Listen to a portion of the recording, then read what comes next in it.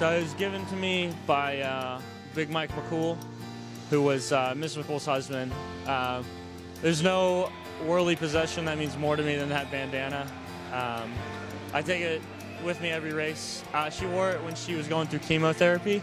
It wasn't the one she wore the most. Uh, Big Mike has the, the pink and black one. She wore it everywhere, but I got mine has cows on it or something. I don't even know, but it just helps me um, get through a lot. You know, I, I saw her on her deathbed, and she was still the strongest woman I've ever seen. So, I, you know, what's a 100 fly or 100 free, you know, pain wise compared to that lady? You know, giving herself her own water on her deathbed. So, it just helps a lot. It keeps me strong, keeps me confident, it keeps me calm. So, it means a lot.